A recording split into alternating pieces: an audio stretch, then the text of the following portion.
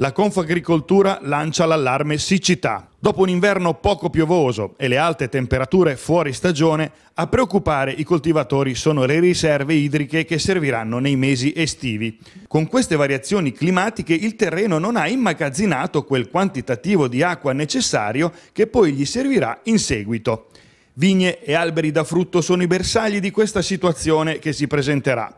Se poi pensiamo che già albicocchi e peschi stanno gemmando in questo periodo, esponendosi pericolosamente alle gelate improvvise, capiamo che il sogno degli operatori del settore non è proprio tranquillo. Cosa sta succedendo? Sta succedendo che quando piove, ormai non, può, non piove più come Dio comanda, diciamo, le precipitazioni avvengono in modo violento, per cui l'acqua diciamo, scivola a valle e i terreni non riescono a immagazzinare quest'acqua, questa, questa, riserva che poi gli, gli riservirà per il periodo estivo.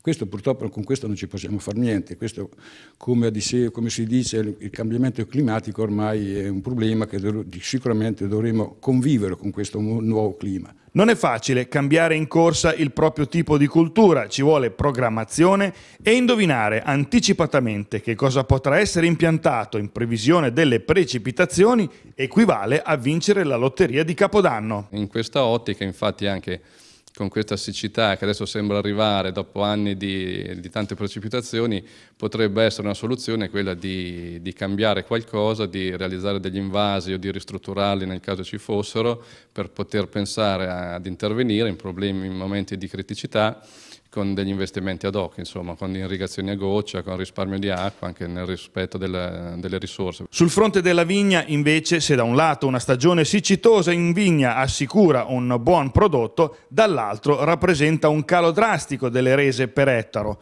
che si traduce in un minor guadagno. La riserva idrica è molto importante, sia quella invernale perché si accumula e, e che porta avanti diciamo, la pianta, poi dopo chiaramente quando si alzeranno notevolmente quest'estate alzate le temperature andranno a tingere di quella e di quello che ci verrà donato.